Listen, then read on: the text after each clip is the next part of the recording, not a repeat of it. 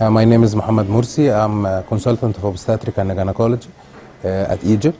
Uh, I came here uh, for uh, uh, laparoscopic techniques for hysterectomy under supervision of Professor Arnaud Wattiez.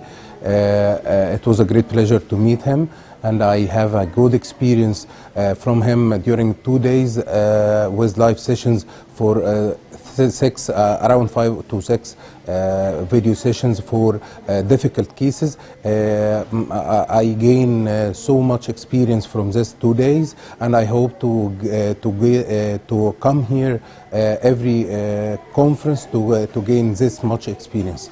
I'm so happy to be here. Thank you.